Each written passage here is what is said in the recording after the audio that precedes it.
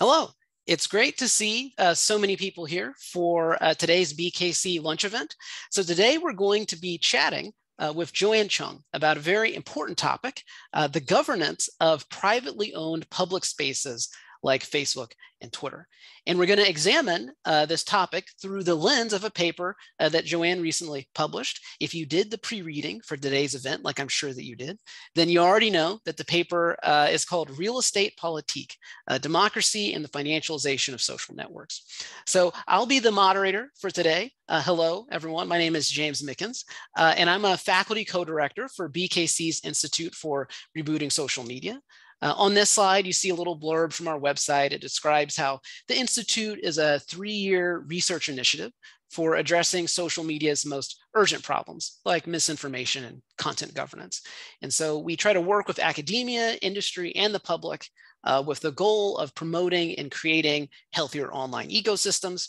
So if you go to our website, you'll see that we've already started to do some cool work. So for example, off to the left, you see that we've announced our cohort of visiting scholars for the next academic year. These folks will be working with us uh, on specific research projects, like, for example, studying uh, election misinformation in Brazil, uh, looking at ways that we can redesign computer processors uh, to strengthen online privacy, uh, so on and so forth. So we're really excited about those visiting scholars.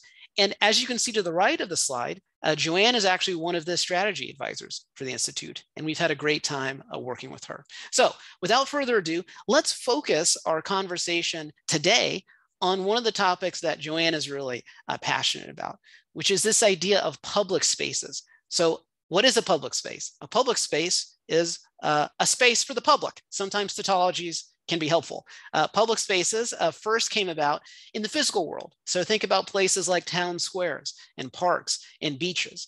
These are places where people can assemble and talk to their friends and family. Uh, they're places where sometimes new connections get made between people who used to be strangers to each other. And so these public spaces play an important role in the operation of society in the operation of democracy because they encourage the exchange of ideas, of complaints, of suggestions for how to improve the world. Now, of course, in the modern day, uh, a lot of our public spaces are online. So Facebook, Twitter, Reddit, Instagram, and so on. Uh, we spend a lot of time in these online public spaces, uh, sometimes too much time. And I can see that this image has resonated with some of the people out there. After the event, we'll put you in contact with a support group um, that's just a BKC difference. Anyways, uh, the point is, is that increasingly uh, social media platforms are functioning as the modern day equivalent of the town square or the public park. Uh, and this is interesting because if you look at platforms like Facebook or Twitter, they're these privately owned public spaces you know they have shareholders but these shareholders uh, are not the community at large they have executive leadership but those people are not elected by the community at large and so how should we think about uh, governing such spaces well in the physical world we also have these privately owned public spaces. So for example, you know, looking at an example from Joanne's paper, we have a Zuccotti Park that was in uh, New York City. It's open to the public, but it's not publicly owned. So how did that come about? Well, you know, as those of you who did the pre-reading know, it's a privately owned public space made in 1972. It was built alongside um, this totally private One Liberty Plaza building. So the park is public space, even though it's privately owned. And then the One Liberty Plaza building is uh, totally private. And so this collection, this park uh, plus the building, they uh, leverage a regulation known as the floor area bonus for a plaza regulation. It's a very fun regulation name to say I do it in my spare time. So this regulation stated that a developer could get an extra uh, 10 square feet of private space in exchange for building a one foot uh, square foot of open publicly accessible space. And so like with this kind of regulation, it might seem like everyone is a winner private developers can build more private stuff and the developers also get incentivized to build public stuff for the community at large. So no problems, right? Well, as with all things in life, it's actually more complicated than that. So for example, uh, this privately owned public space was the site of massive Occupy Wall Street protest in 2011. And so there's this tension here right? What happens if, for example, the private owners don't believe in the protest or they want those protests to be smaller? Uh, so in the specific case of these protests, um, the owners of the space, this public space that's privately owned, they did things like ban tents. They banned sleeping bags. They did other things to make protesting more difficult. So we see this, this tension here in the governance model for a privately owned public space, the desires of the owners may be different than the desires of the public. And we see this governance challenge elsewhere. As those of you who pay attention to the news might know, our world is basically on fire right now. And uh, one reason is that our companies are on fire. In particular, our social media platforms are on fire. We haven't found the right uh, governance models for these things. So we see things like misinformation super spreaders seeding false election theories. We see stuff like Facebook failing to tackle COVID 19 misinformation. We see things like online hate speech growing uh, more prevalent during the pandemic. And so these are public crises that are spreading on privately owned spaces. And so there are a bunch of other problems besides just as just uh, you know disinformation and hate speech. So so for example, consider this observation from the most trusted advice animal. You guessed it, it's the mighty bald eagle. The bald eagle, this beacon of freedom, tells us uh, that free online services aren't really free. These services they monetize your data. They look at what you post, what you like, uh, what you browse. Later on, they turn uh, that data to advertisers uh, to sell it. And then later on, you see these creepy targeted ads for a weirdly specific shirt that mentions my birth month and is vaguely threatening for no reason, but we actually know the reason. I'm whispering because we know the reason. We we feel threatened um, because we feel like our privacy is being violated. But but what's a better way to fund these privately operated public spaces? It's not clear, because if there's one thing we know about this world, it's that people love stuff that's free, even if it's only ostensibly free. So with that setup, uh, it is uh, my honor to hand the mic over to Joanne, who's going to walk us through some of the key ideas uh, in her paper. Um, and as a reminder, this session is being recorded, um, but your video thumbnails won't show up. And also uh, the chat function has been disabled in Zoom. So if you have a question, just type it into the um, Q&A box and we'll get to those questions uh, during a Q&A session after Joanne's presentation.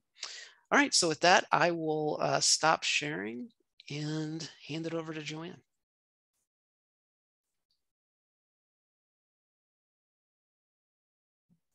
All right, hi everyone. Um, so thanks Megan for that introduction. Um, so first, before I start, I wanted to just to share a little bit about me and where my perspective comes from.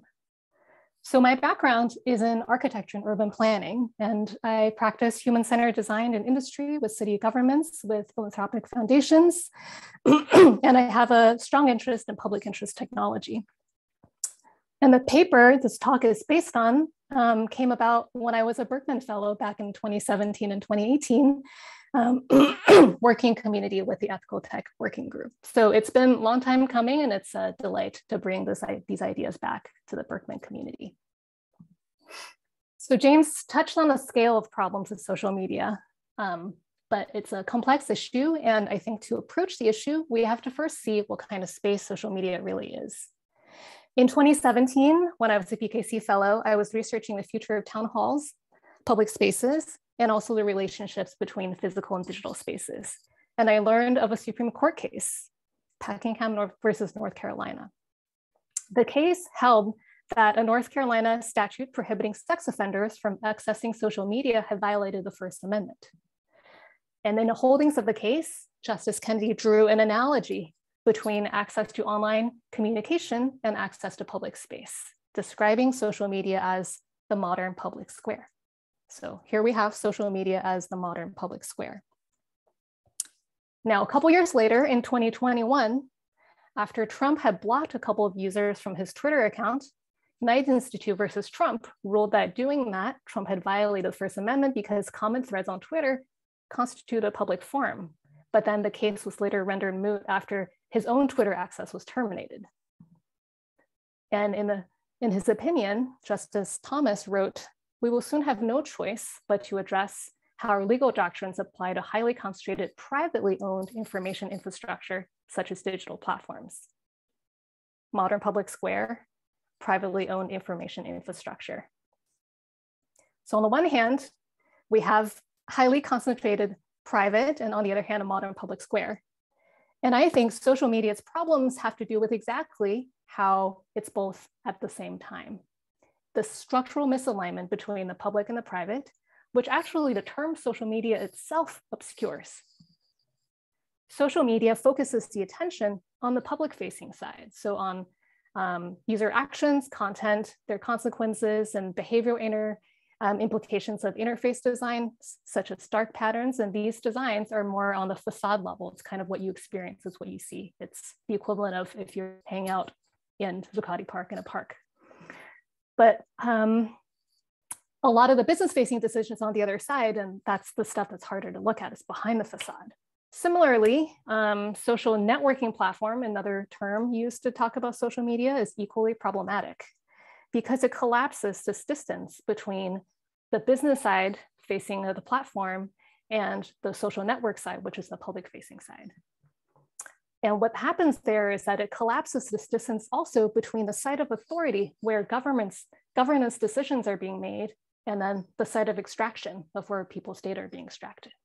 And so the business facing dimension of the platform becomes concealed behind this facade of public facing social issues. In this talk, I, what I really wanna do is look at the structures of the platform, look into the platforms, looking at beliefs and mechanisms that shape the platforms and really get behind that facade. So this talk has three parts. In the first part, I would like to tell you about the origin story of two parks, Central Park and Zuccotti Park, which Mickens has mentioned, and the interplay between the public and private um, in these parks. In the second part, which is the bulk of the talk, um, I'll focus on the financialization of land and attention, looking at the analogies between land use and on social media. And I'll look inward into the platform business model, how it shapes roles, incentives, and responsibilities. And finally, I'll look into other practices from land use that might inspire the future of the digital realm, such as urban planning, community land trust, and indigenous land stewardship. All right, so first, um, the story of two parks. And we have Central Park. So this is Central Park, um, must be familiar to everyone here. It welcomes 42 million annual visitors. It was completed in 1873 following the Central Park Act, which is when the state legislature removed 843 acres um, from the real estate market and designated a public space. So just um, for you to kind of get a sense of how big that is, that's about 6% of all of Manhattan. And at the time, this was first of this class. There's no public parks weren't really a thing in cities. And if there were any parks, they were mostly enclosed or private, like Gramercy Park downtown, you needed a key to access if you lived around there. Or you went to cemeteries, like the Greenwood Cemetery here for a picnic. So this was the equivalent of the public park. Other than that, there was nothing. So Central Park really embodied this progressive ideal of the time. It really set a precedent. Frederick Olmsted, who was one of the designers of Central Park, had um, great aspirations imbued in his design. He believed that they were a democratic development of the highest significance and that they created this shared metropolitan culture that both acknowledged and overcame the profound cultural and economic differences that marked life in New York City. Central Park is owned by the New York City Parks and Rec, and it's maintained by a private nonprofit um, called Central Park Conservancy, and of course the use is for the public. Central Park has played host to many iconic events in the history, such as uh, many be-ins through the 60s and 70s in protest of the Vietnam War and um, a lot of kind of big social assemblies that manifested what people wanted of um, a greater social, um, to the betterment of society. So here's the, on the one hand, we have Central Park. Now, a hundred years later after Central Park opened, Zuccotti Park opened in the financial district of Manhattan, downtown. So it was completed in 1972 alongside Liberty Plaza. And Liberty Plaza is an office tower, and the current value of that is about um, one and a half billion dollars. Zuccotti Park, as um, James has mentioned, was created through this floor area bonus for a plaza regulation known as incentive zoning. So notice that um, in, this, in this term, public park or park was not mentioned, but plaza was mentioned, and that's kind of a way to distinguish um, between a park and a plaza. So a plaza, people have association with parks being more public, but plaza, even though it has some of the affordances of a park, it's still different. So there's a, um, there's a reason behind this choice of a word for plaza. So this um, incentive zoning incentivized the creation of open spaces by giving developers 10 more square feet of built space in exchange for one square foot of an, of an open area that's accessible to the public at all times. So this is what was the definition of um, a plaza was. So beyond Zuccotti Park, there are about 500 public, privately owned public spaces around New York City and, and many um, across many cities in the US. So you might be familiar with some of these in Boston as well as in San Francisco. And um, some cities have a big catalog of these. Um, so you can kind of go look for them and sometimes they might not be where you expect. Now, both One Liberty Plaza, the office tower, and Zuccotti Park are owned by Brookfield Office Properties. So in fact, Zuccotti Park is actually named after company chairman, John Zuccotti. And Brookfield Office Properties is itself a subsidiary of a commercial real estate company called Brookfield Property Partners, which itself is a subsidiary of one of the world's largest alternative asset management companies, which manages over $625 billion of assets. So just to get a sense of this kind of um, onion of ownership, you have with, of course, names that are more or less indistinguishable from each other. Um, the ownership structure is ex extremely complex compared to um, Parks and Rec owning Central Park.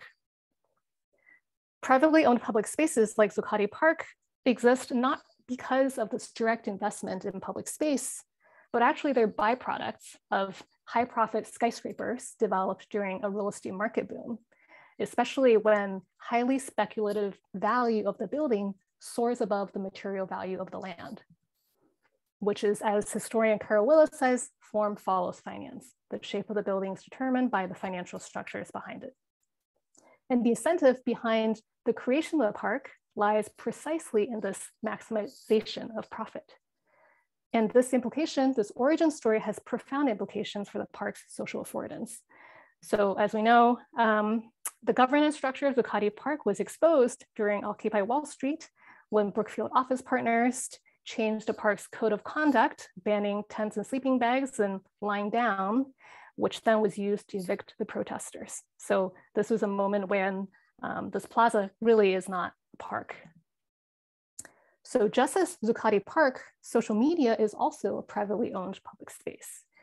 Although users may experience them as a modern public square, their underlying economic incentive and legal construct are much closer to that of a real estate developer and how social media serves its owners versus how social media serves its users, that's in inherently dissonant. So social media is both the tower and the park in one package.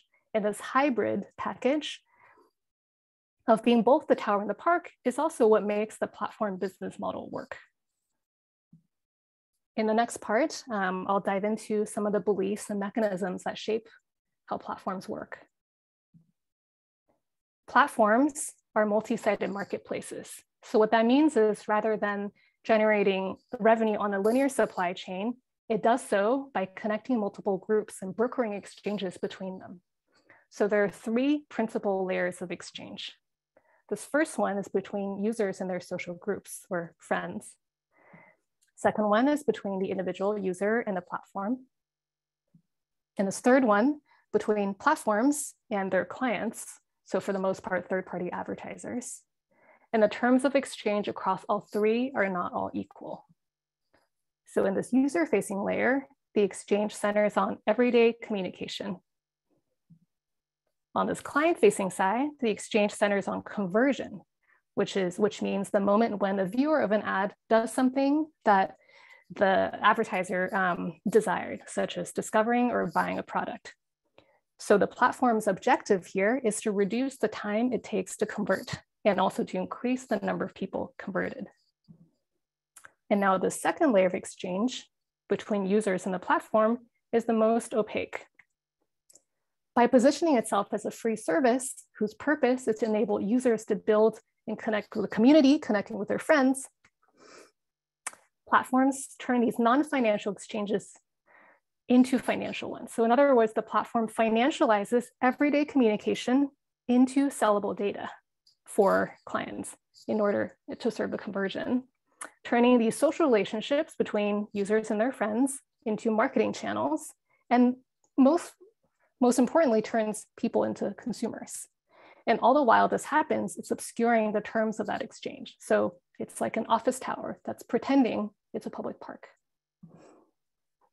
This pattern of exchange of extraction isn't entirely new.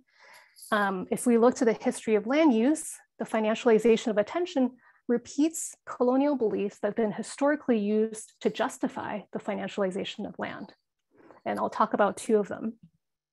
The first is the pristine myth, which is the belief that before land was colonized, that land had existed in this pristine state, untouched by humans. And this pristine myth helped justify the dispossession of indigenous populations and also normalize the exploitation of land for cash crops.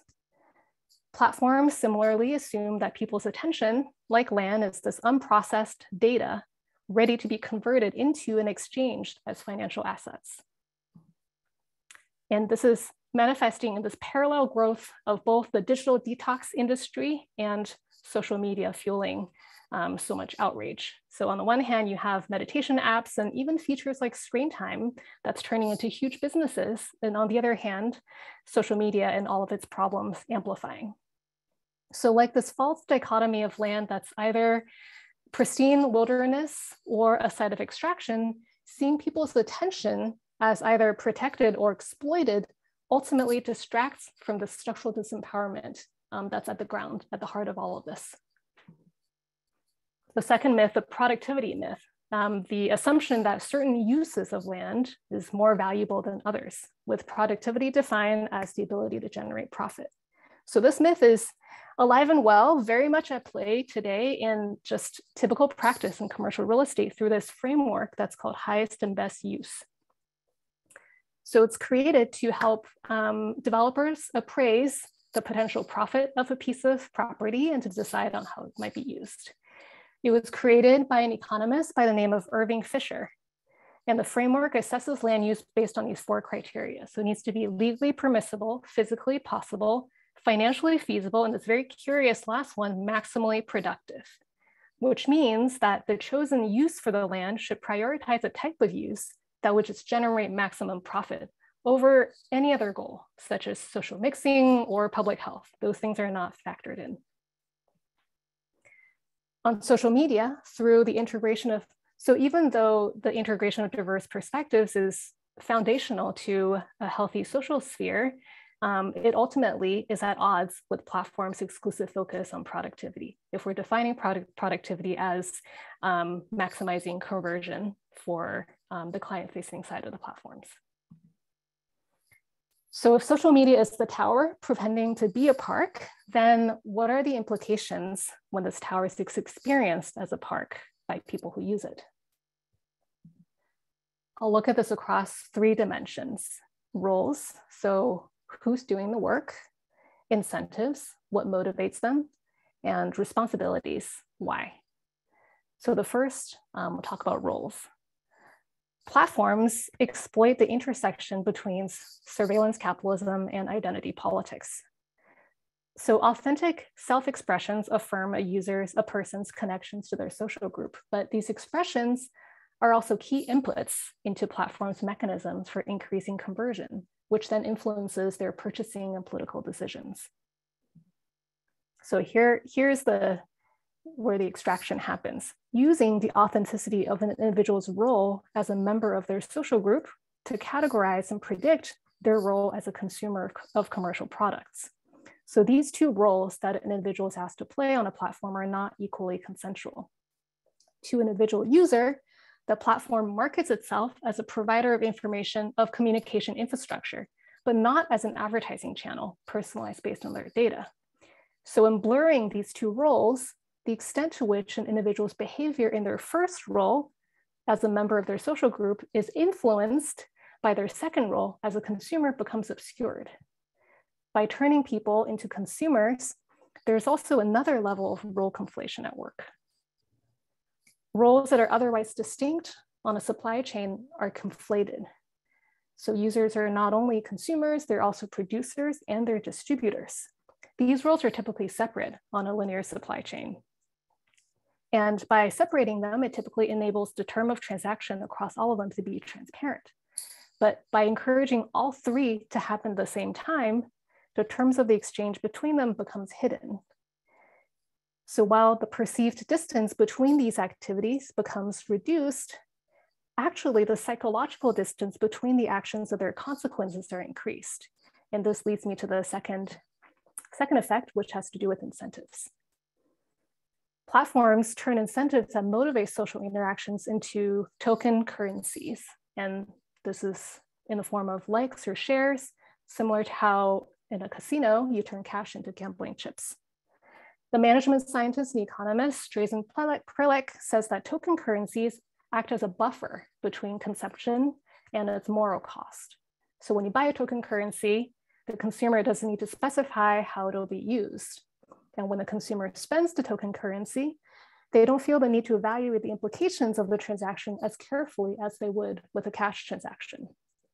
Similarly, posts on social media are by default broadcast to a user's entire social network, and the user has um, very little choice in specifying um, how their messages will be transmitted.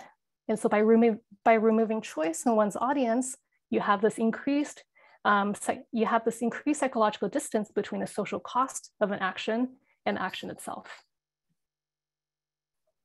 So the third, responsibilities. Discriminatory values can become in, encoded in technical implications through things like proxy metrics. So in the history of cities, building density has been used as an example of a proxy metric that encodes racial discrimination in what's called um, single family zoning ordinances. So in fact, where I, I am right now in Elmwood, Berkeley, 100 years ago, um, this is one of the first examples of single family zoning when a real estate developer here um, wanted to keep out a black dance hall and Chinese laundries out of the neighborhood and proposed that only single family housing could be built. So um, the side effect of that is you basically price out everything else um, besides single family homes. And you have a financial segregation that recreates racial segregation. And this happened um, repeatedly through the history of land use through even things like exclusionary zoning in mid-century. And on social media, relevance is an example of a proxy metric. So instead of proactively integrating different perspectives, platforms by default rank messages based on how relevant they are to a user. And the ranking prioritizes messages that support one's pre-existing beliefs and excluding ones that may challenge those beliefs. And if you were to change the sorting method, such as changing it to chronological sorting, that's something you have to manually select, but you have no power to meaningfully change the exclusionary ranking mechanism that determines and assigns value for what you see by conflating roles, creating a psychological distance between actions and the consequences, and abstracting away social responsibilities, social media's public interests become subsumed by the private interest. So the public space, um, as a privately owned public space, public space is serving private profit. In Liberalism and Social Action, John Dewey writes, the method of democracy is to bring conflicts out into the open, where their special claims can be seen and appraised, where they can be discussed and judged in light of more inclusive interests that are represented by either of them separately. If social networks are to exist and serve as more than profit, then platforms will need to proactively create the conditions for that pluralism to make it possible and desirable to reconcile differences rather than obscuring them. So, so far I've talked to, I've talked about how the history of land use has illuminated some of the problems with social media. And now I wanna touch on some examples to show ideas for the future and hopefully end on a more positive note. And show some bright spots where roles and incentives and responsibilities are configured in ways that actually align with the public interest. Urban planning can be a way to clarify public interest roles, community land trusts, can be this organizational model that differentiates between public and private interests and indigenous land stewardship could be a way to think about collective social responsibility. In land use, urban planning and real estate development are distinct, completely separate fields with distinct duties and ethics. In order to receive licensure to practice, urban planners have to follow ethical principles set by the American Institute of Certified Planners. But unlike urban planners, commercial real estate developers have no professional association nor explicit ethical principles. So how come, how come? Codes of ethics are often found in fiduciary duty defined relationships, which obligates a practitioner to act solely in the interest of their client. So for example, a doctor and patient. But real estate developers, on the other hand, don't have a fiduciary duty towards users of the buildings they developed. Instead, they act in accordance with the profit motives of their investors. On social media, in absence of an equivalent field of urban planning dedicated to the public interest, platforms are driven exclusively as commercial real estate development. So you don't really have any of that balance that you have in urban space. So as a thought experiment, what if platforms adopted the ethical principles based on ones set forth by the American Planning Association? Social networks need a public interest profession with fiduciary duty that aligns with their social responsibilities. And given the similarities and challenges between urban planners and stewards of social networks, these ethical principles seem eminently applicable. If attention can be exploited like land, what could it look like to steward it like land? um, as what the community activist Robert Swann said, who pioneered um, community land trusts. Current debates around individual data ownership apply property rights to address inequities and monetization of data, but I think that this approach is limited because focusing on individual data ownership shifts the burden to individuals without addressing the financialization of their attention in the first place. So as an example, Community land trusts are nonprofit organizations that own and hold the land of perpetuity in the permanent benefit of the communities they serve. They remove the land from the commodity market, buffering it from the booms and busts of the real estate market cycles. A community land trust differentiates between incentives of ownership and the incentives of use. So ownership is maintained in the public interest while use allows for private interest through these 99 year ground leases which are the longest possible terms of lease on a real estate property. The community ownership of land aligns the incentives of users and the owners. So users have long-term access to affordable space, and the trust has a strong legal position to serve its mission to preserve affordability. Finally, as inspiration for thinking about social responsibility, um, Indigenous land stewardship the assumption that we can go in and out of the digital worlds, an assumption of infinite mobility, of infinite discovery, is a false choice that turns people into tourists rather than stewards. So interestingly, um, the Wilderness Act has a quote that says, man himself is a visitor and not remain. Indigenous land stewardship views social responsibility to care for the land and care for oneself as one and the same. And this concept reverts this pristine myth that we talked about earlier that sees attention as either conserved or exploited and rather sees it as something to be collectively cared for. So it's a very fundamental change in how, um, how one views the world and views ourselves. So I talked about Zuccotti Park. I talked about privately owned public spaces, how the financialization of attention mirrors the financialization of land and their effects on their roles, incentives, and social responsibilities. So in closing, I would like us to return to Central Park. After serving as a superintendent at Central Park, Olmsted went on to work for the United States Sanitary Commission, which is the precursor to the American Red Cross. Olmsted had conceived Central Park as the lungs of the city. And he said, it is desired that people should benefit by the sanitary advantage of breathing. So at the time, health of the populace was not only about physical health and wellness, and included, um, it was a very expansive definition that also included social connection, social cohesion, the health of democracy. Um, that was all a part of the aspiration of Central Park. And so given that expansive view, the question I would leave all of us is, if Central Park was conceived as the lungs of the city, then what could be the equivalent for a digital sphere? What is our Central Park? Thank you. Great. Thanks so much for that, uh, that fantastic presentation. So um, if people have questions, they can drop those questions into the um, Q&A function of Zoom, and then we will um, address those as they come up. Um, I see that we already have one question in there, so let me uh, ask that one now. Uh, the question is, how would you see the metaverse through this lens? Um, do you think that the metaverse will um, change anything with respect to your conceptualization of this relationship between these um, public spaces, the private owners, and the community at large? It's a curious question because um, I think whenever I hear bandwagon term like a metaverse, I'm unclear what that's exactly referring to.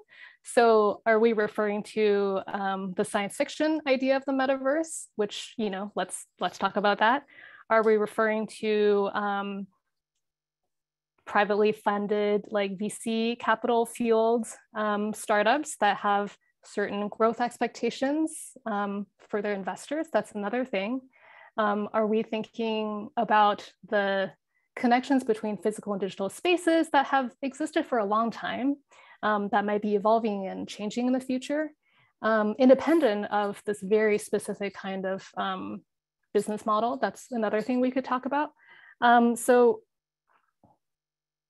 I guess what I would say is um, a lot of the a lot of my interest is that seeing patterns and problems, but also the potential of um, the relationship between physical and digital space as something that has resonates with a lot of um, resonates with a lot of patterns that have happened historically. So not being blind to some of that, but also um, being creative and honest with some of the things that really work. So I guess what I would say about it's hard to know which metaphors metaverse we might be talking about but i am optimistic and i think it's a natural extension of um, like i was saying earlier we can't really see the digital world as something we can go in and out of. Um, that only i think obvi- abdicates some of our duties to steward it just like land. That if you were to go into a national park and then leave and then kind of think about nature as bound that way where the planet is really not bound by national park fences exactly. Um, and so maybe I would encourage that we can bring this mindset of thinking about stewarding things that aren't kind of boxed in in that way, um, but yeah, and, and think about things more holistically. So if I if I take the question to mean how do we think about the relationship the relationship between the physical and digital in a more holistic way, then absolutely. But um, not so sure that this is an assessment on a specific business model to, to make that happen. Yeah, I think it's a super interesting question. The the the questioner had um, sort of said a follow up that um, they were referring to like the Facebook or Microsoft versions of the metaverse. Um, but as someone who's sort of following this metaverse stuff with a combination of like intrigue and like slight scorn perhaps because it's so vague. Even when i look at sort of like these more quote unquote fleshed out versions in the metaverse i don't necessarily see what the the, the sort of singular vision is besides just sort of like more. It's more immersive than what we have now. Uh, it's sort of uh, more engrossing. And i think that it's interesting too to think about um, when we start looking at these new platforms are we building in certain notions or certain ethos from the beginning you know, like one of the big problems I think we see with a lot of online platforms today is that they've encoded so much of this financialization of attention, for example, that even if well-intentioned engineers wanted to sort of change something, this would require sort of like this massive, from first principles reimagining of things. And so, to the extent that I think the metaverse is a good idea, at least personally, I think that it would be great to sort of have some of these um, more public centered principles come in at the beginning to make sure that we're building on a foundation of these things as opposed to trying to graft them on later. Yeah, I think we've, um, I, I, I think it was Neil Postman who talked about how the definition of community has changed recent, or not recently, but through technology in the sense that community in the physical world used to mean um, a place that you lived kind of in community with other people and they might be very different from you. You just happen to be defined by the same similar physical locale versus community in all of the marketing language of tech companies. It's more like special interest groups. It's like, oh, we mm-hmm. like share the same ideas. We're in community with each other. And that's a huge difference. and when you say that, well, let's connect and build community, what that means is just the reinforcement of what you had already seeked. And I think when that's defined in a very vague way, so building community, but for what purpose, when you don't define for what purpose, then you know you have this kind of um, more and more, but for what? Right. And I I I'm very endeared by um, there are these kinds of small pockets where some of that for what is clearly defined. Um, so for example, there's subreddits where um, people go on to identify plants. so, you know, like you would have all these landscape architects getting really excited about like identifying plants or like haynet, another classic example, like something you need very specifically. Um, the terms of the exchange are very transparent. Um, like these communities where um, what people are there for and the goals they have and what they share is very defined. And so somehow the norms and um, yeah, the norms and the context for their exchange is um, more transparent versus if you have connection for connection's sake, I don't know what that means anymore, right? Um, it's kind of like, yeah, just a, a bit like a zoo animal being spectated upon. right. Yeah, I can neither uh, confirm nor deny that I went deep into the Reddit plant community this previous summer. I'm just saying it is a very friendly community if I got deep into it, which once again, I'm not confirming or denying. Anyways, moving on from that, uh, I see another question. Um, it's about how do you imagine a digital public space being funded? Um, and this is sort of a, a question that I know um, you're interested in, I'm very interested in this too. You know, if we look at like a public park, then like, you know, the first approximation is funded through taxes, you know, taxes that the public pays. And you know, you've talked about the financialization of attention and how that, in essence, is kind of like the tax that users pay to, to, to use Facebook, even though it's not always clear to them. Um, so, so do you have ideas about um, sort of a better way to fund a, a digital um, privately owned public space?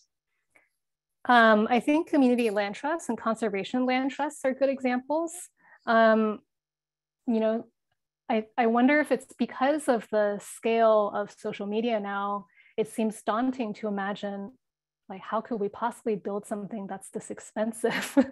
Um, you know where where could you possibly raise the kinds of funds to do that? But actually if you actually think about what it's for and the things that it does best it may not have to be that way. I think it has a lot in it that's serving the more business side of the interest rather than the use by the community um, so I I'm a big believer in um, community funded on a smaller scale and platforms that could differentiate between you know this place versus that place rather than something totalizing that could scale across the entire world.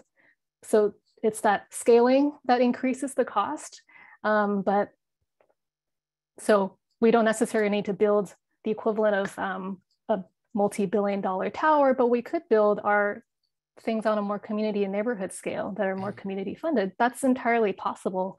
And some of the good examples I see here in um, East Bay, California are, um, for example, there's an organization called the East Bay Permanent Real Estate Trust. Um, so, and also a, quite a few community land trusts um, in the area. So some of them are more focused on indigenous stewardship and some of them are more community ownership by people who live there um, yeah, if you pool capital together to create intention around the piece of land, even in this really completely crazy real estate market, it's still possible, right? So I wonder if some of our aspirations might be um, falsely blinded by the state that you know the Facebooks and the Twitters are now. Like if you really think about what they are, it's they're I think yeah, they don't have to be the form. The form factor doesn't have to be the same. I think it's the, yeah, I think it's the form factor and also the scale. I mean, that's a very interesting sort of observation that yes, it would be difficult to sort of crowdsource funding for Facebook as it is now. But if you do things more locally, then maybe it becomes more feasible. And this feeds into another question that someone said. Um, they wanted you to talk more about the trust model for the ownership for the public space. And basically, uh, they say, how can we use this trust model without making the governance turn into, quote, a melee of some sort or at least you know the government being pulled in a lot of different directions. And I think you may have already spoken a little bit to that with respect to the scale thing, which might make governance yeah. more tractable. I think the scale is one thing. Um, and I think what's really cool about the trust model is that every trust is different. But I think the thing they have in common is that they all have um, community representation. So they all they all have um, people who live in proximate to it being having very direct decision making, but not not exclusive. It's kind of balanced with others too. Um, so if you imagine, I mean, the equivalent of social media, if you have users being sitting on the board, for example, like it's unimaginable, right? But that's literally what the trust model affords. Um, but and because it's always bound by place, it has kind of natural boundaries, which I think are healthy, rather than imagining the whole planet being one one big room for conversation. Right. Yeah, I think that's that's super important because I think, like to a certain extent, some of the problems we're dealing with right now with these online spaces, like there are these problems of late stage capitalism, sort of, you know, writ large. Like, what do we actually want to have like people's representatives sitting on the boards of these companies? Would they even be amenable to that? Do we even think there's going to be like uh, a will in the government to pass laws that would force that? And so, by starting at the more local level, you might be able to sidestep some of those issues. Mm-hmm. Um, and this is actually related to another uh, great question that came up. And the person says, what if there can't be an equivalent of Central Park in the digital sphere because physical proximity is required for people to act decently?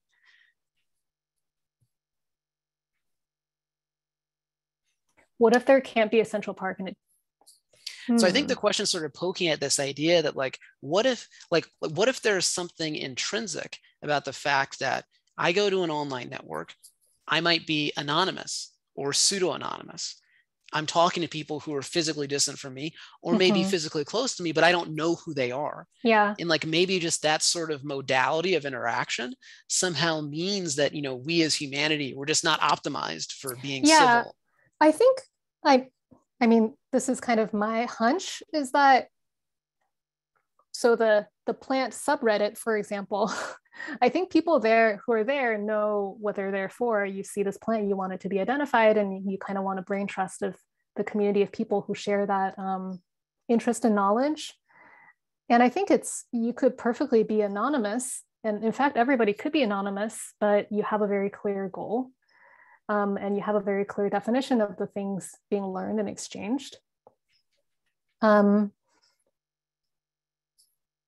I think for digital spaces where you have both anonymity and no goals, I think that's where it gets chaotic, right? I think with public parks like Central Park and other public parks, I mean, it might be more implicit, but people tend to also share certain goals of going to the park. Um, so you never really have the extent of, um, yeah, people could be anonymous, but you have more or less shared goals versus I think in the digital sphere, it's really when we have both of those anonymity plus just unclear intentions that um, a lot of the problems arise. Yeah, I think you're right about that. And I think it, it, it feeds into yeah, another question. It's like these, these questioners, they're just, this is so great, just hand and glove. So another question says um, that physical public spaces, they force mixing. You know, if you want to inhabit a space, you have to do so cooperatively with other people. Um, however, an online space like the plant forums that I may or may not have been uh, deeply engaged in, um, they can be customized to an individual. Like it's easier to set up sort of like these in-group dynamics. And so um, the question says, you know, are you suggesting that a public online space should be designed to remove some of these intentional walls so that it looks more like a physical public space?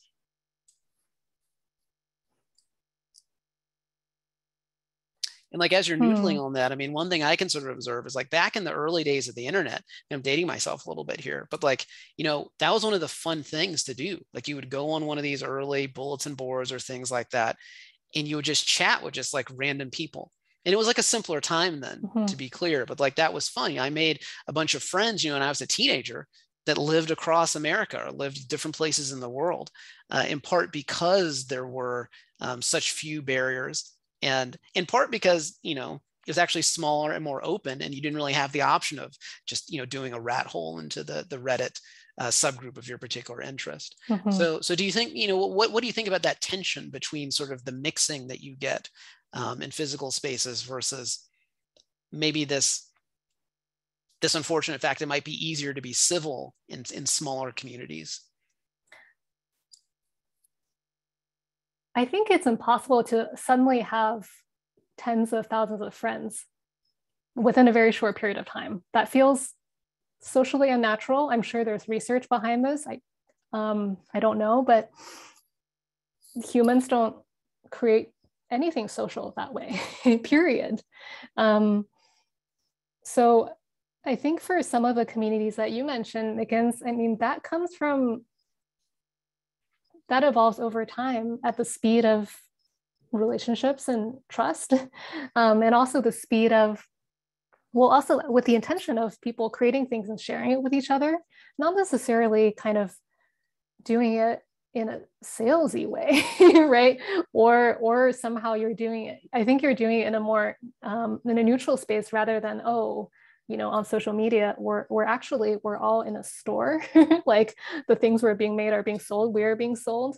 Um, like that context is, doesn't exist. So it's more um, people visiting each other's spaces and rather than everybody being in a space that's actually yeah, defined by sales. So hmm, I'm not sure that answers the question, but there's there's a certain assumptions I think that have become naturalized through social media um, that I think could be reevaluated. And the other thing I want to mention is um, what social media does is it's it has professionalized certain behaviors. So there's, you know, it's it's jobs for many people, but it's also not jobs for many people. Um, and doing whether you see it, whether you see um, using it as a job versus not a job, you have very different expectations for how that factors into um, fin- the finances or what money means. So by conflating that, I think what you don't want is the lack of transparency of people working, but actually, you know, people in their leisure time using it, but actually they're they're working and their labor is just utterly unaccounted for. Um, and I mm-hmm. think that's what some of that conflation has happened. Mm-hmm.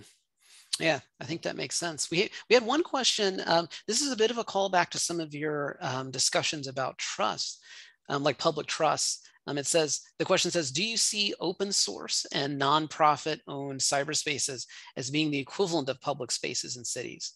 Uh, nearly all the cyberspace where we interact is privately owned, but maybe something like Wikipedia or Signal, um, like that model might be better. So like, do you see like any analogies or inspirations from the open source community with respect to this notion of like privately owned public spaces? Um, I think then again, I, I, comes back to intention. So wikis are very specific, right? Um, have very specific norms, have a very specific thing that's getting built together. Um, I think in that case, that's a more direct analogy, I think. Um, so it's not, I guess that the analogy might be, you're not only creating um, you're not only allocating a piece of land, but you're very specific about, okay, here's a blueprint of something we're building and, you know, everybody's chipping in to build it together. Um, versus I think if there's not that intention, then it's harder to say. It has the same problems, I think, as some of the physical spaces where um, you don't really have a clear goal. Mm-hmm. And I think, yeah, that's also what allows for the anonymity too. If you're um, if the goal is very specific, then the norms also are more mature, then it, you're more able to have more participation versus, um, yeah, in absence of that, then I think open source might also have some of the tyranny of structurelessness, to quote Jo Freeman, um, that you might also have in physical space as well. Right. And I think, there, and there's also sort of this interesting sort of tension, I think, between like just the beauty of discovering things that you weren't expecting to discover. So, you know, like one of the things that I like about wandering through a big city is that you will sometimes just find these really nice places, these really small community gardens that you never would have known were there, but you just decided to linger at a sidewalk for a while. Um, and I wonder, you know, if if we go towards this this model of, in a certain sense, sort of like smaller, more curated communities, mm-hmm. then it's like, how would we still enable some of this um, serendipity of, you know, oh, I was in this, this, you know, uh, small online space. But then I heard about this other one and I decided to go there. And, um, you know, I, I, found something that was really neat and that really changed the way that I, I think about um, the world. Um, yeah, people's homepages probably were like that right. way back in the day, right? but less so maybe your, you know, Twitter profile. Right, right, right. And, and I also think there's there's sort of this interesting performative aspect in some of the modern, like, you know, your your profile. Um, you know, Instagram gets a lot of flack for that as well. Um, and it might be interesting to think about ways that we can um, sort of address that performativity to sort of make the the experiences seem more genuine or more um, more direct without totally removing people's ability to sort of you know mm-hmm. post pictures of their cute baby or you know whatever their favorite hobby is or things like that yeah, let's see. So I think we're, um, we've only got about two minutes left. So let me um, find one more question. Uh, okay, we'll go with this one. So with governments coming on social media platforms to engage with citizens, what are the implications um, for the uh, conceptualization of public spheres with respect to modern digital democracies?